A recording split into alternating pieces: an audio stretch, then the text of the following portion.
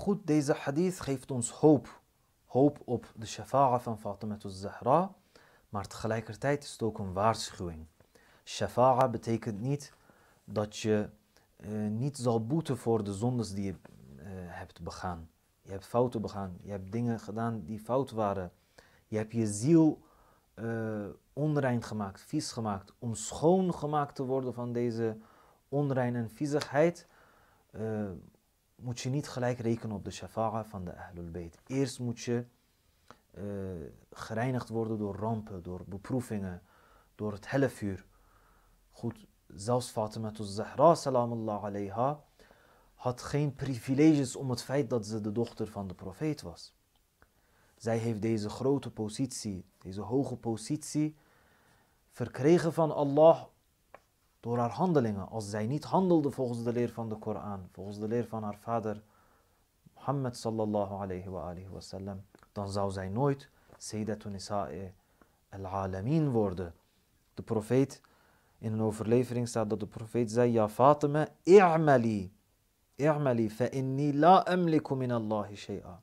O Fatima, Handel, handel volgens de wetten van Allah, want ik kan namens Allah niets voor jou betekenen. Alleen om het feit, enkel om het feit dat jij mijn dochter bent, betekent niet dat ik jou uh, in het hiernamaals iets kan garanderen. Je moet zelf handelen om een vrome dienaar te zijn van Allah. Zonder te handelen kan niemand een hoge positie bereiken of de hoge positie die hij heeft of die zij heeft bewaren. bewaren.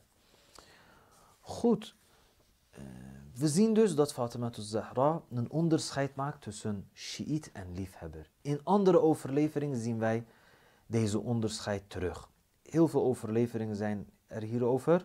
Ik lees eentje van imam Hassan a.s. Iemand uh, zei tegen imam Hassan a.s. ik behoor tot jullie Shiiten en hem in Shi'atikum. Imam Hassan a.s. zei het volgende tegen hem.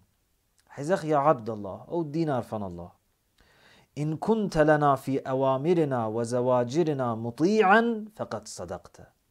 Als jij in onze geboden en verboden gehoorzaam bent aan ons, goed, dan heb je de waarheid gezegd. Jij behoort dan tot onze Shiiten. Het klopt. Als je onze bevelen nakomt, als je gehoorzaam bent aan onze geboden en verboden, dan behoor je tot onze Shiiten.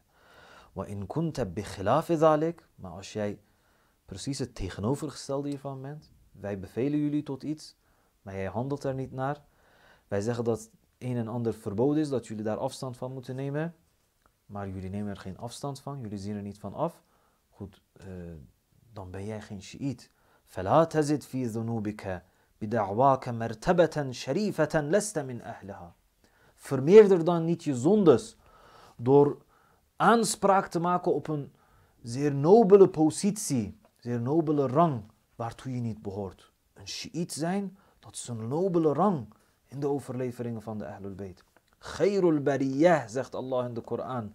Zij zijn de beste van de schepselen van Allah subhanahu wa ta'ala.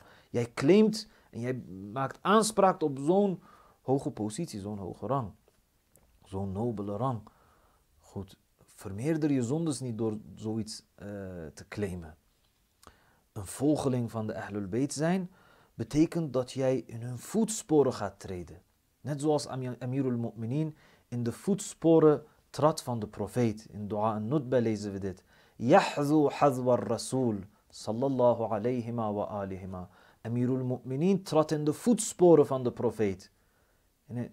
Hij handelde precies zoals de profeet. Hij nam hem als voorbeeld in zijn leven. Stap voor stap. Volger zijn van de Ahlul Bayt houdt in dat je gelijkenissen toont met hun in je leven, in je doen en laten, in je karaktereigenschappen. We zien Fatima Zahra, salamullah alayha, als een voorbeeld hierin. Een van de echtgenoten van de profeet zei het volgende over haar. Ahadan kana wa hadithan bi min Fatima. Ik heb niemand gezien die qua woorden en spreken meer leek op de profeet, meer leek op de boodschapper van Allah dan Fatima Zahra. Haar manier van praten, haar manier van spreken, dat leek allemaal op de profeet. Ze toonde gelijkenis met de profeet. Dit betekent Shiït zijn. Gelijkenis tonen met degene die je volgt. Met degene die je volgt. Goed, deze persoon zei in het bijzijn van imam Hassan alayhi ik behoor tot jullie Shiiten.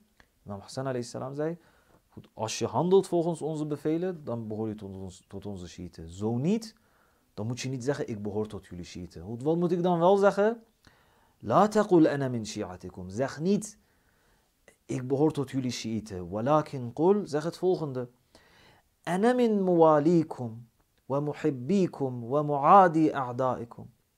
Ik behoor tot jullie liefhebbers, jullie vrienden, tot degene die vijand zijn met jullie vijanden. Ik behoor tot de vijanden van jullie vijanden.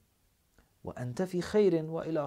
Goed, als je dit zegt, als je onze liefhebber bent, als je bevriend bent met onze vrienden en vijand bent met onze vijanden, dan ben je een goed persoon en dan ben je geneigd naar het goede en heb je inshallah hoop om stap voor stap uh, richting het Shiite zijn te, bewe te bewegen. Inshallah zal, je, zal deze liefde jou brengen uh, naar het praktiseren van de leer van de Ahlul Bayt, zodat je inshallah tot onze Shiite zal behoren. Mogen Allah de liefde voor de Ahlul Bayt, de liefde voor Fatima Zahra, uh, in onze hart plaatsen, zodat wij dag met dag hun meer lief zullen hebben en uh, sterker de aandrang zullen krijgen om te handelen volgens hun leer en hun als voorbeeld zullen nemen in ons leven.